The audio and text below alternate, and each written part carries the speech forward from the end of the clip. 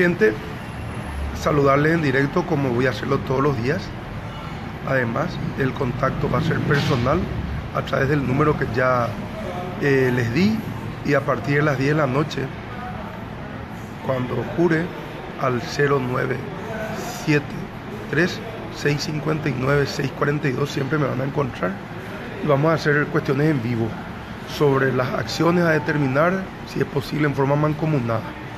El futuro inmediato es el determinar el conteo provisorio que se están realizando en las distintas circunscripciones electorales del país.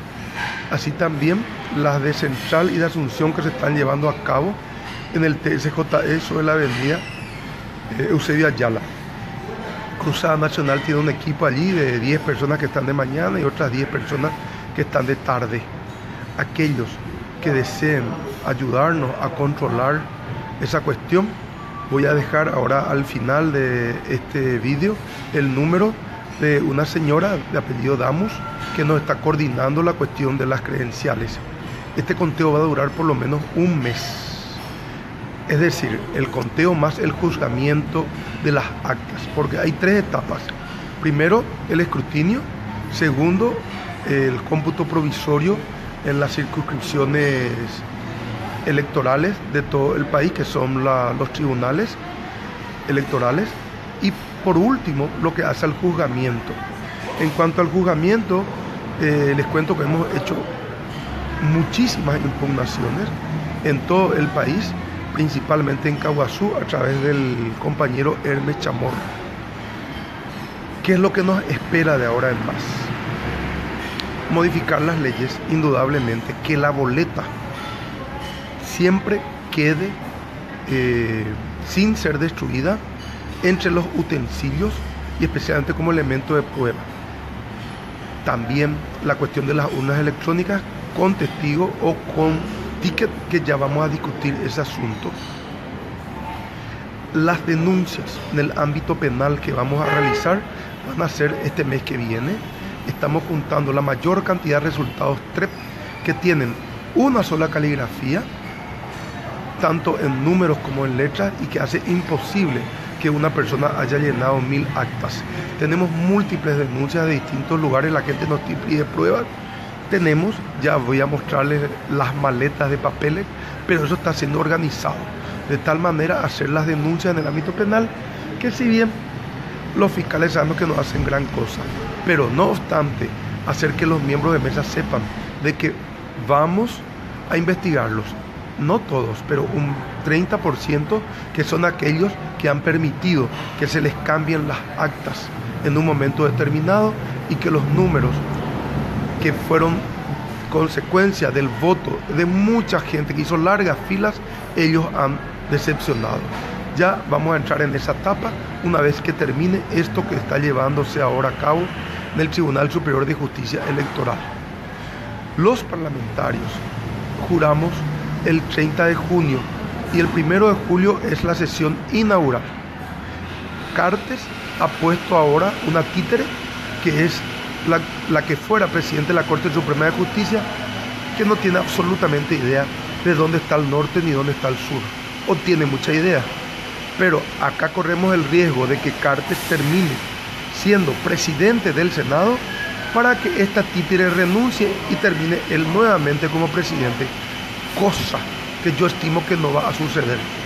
Ya nos han hecho la trampa en los tribunales, en las mesas, en las actas y hay muy poca reacción de la ciudadanía.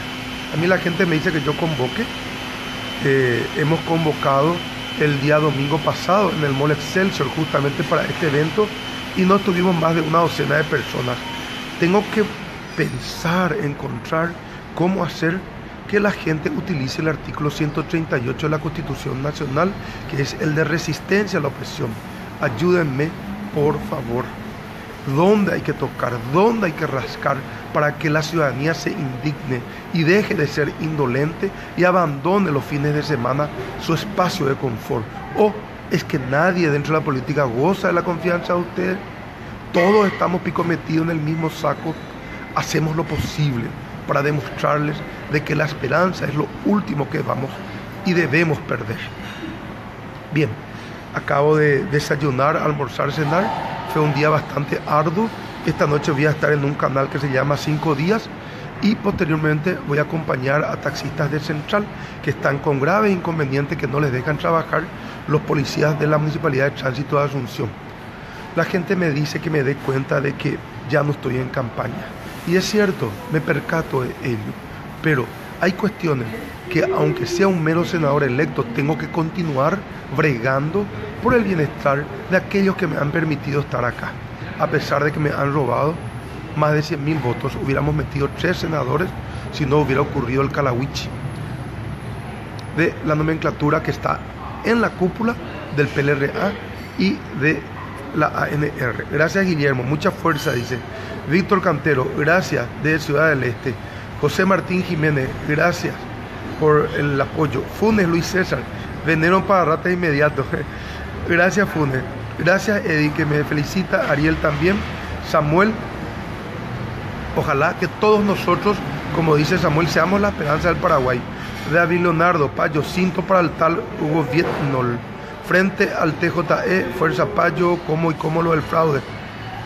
Hemos explicado en innumerables ocasiones y ya vamos a tener un medio de propagación que sea quizás más efectivo que este del Facebook, porque me preguntan muchas veces algo que con mucho respeto les digo, hemos explicado en otros vídeos.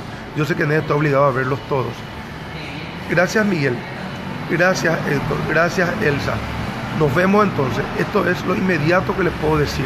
Y el primero de julio, o mejor dicho, el 30 de junio, les espero. No me dejen solo. Vamos a combatir a estas estructuras con ustedes. Ok, gracias Isidora. Gracias José M. Arce de Celso también. Suni Oliveira. Payo Crack dice. Ok, no es Crash. ¿eh? Claro que no. Julián, duele nuestro Paraguay. Sí, señor. Aquí va a los amigos Pedro Juan. Salud. Paraguayo desde Ciudad del Este. Claro que sí, Cristian. Hay a veces que me preguntan, y me duele sumamente cuando me preguntan si me voy a vender. ¿Por qué no van a la puta cuando me preguntan esa boludez?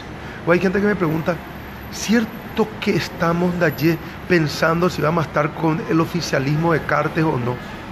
Por favor, tengo 56 años, estoy en esta lucha hace 40. Vamos a ver lo que pasa en la bancada Ñetete. Si la bancada Ñetete se escinde del narcotráfico, por supuesto que vamos a acompañar las propuestas de Marito como corresponde.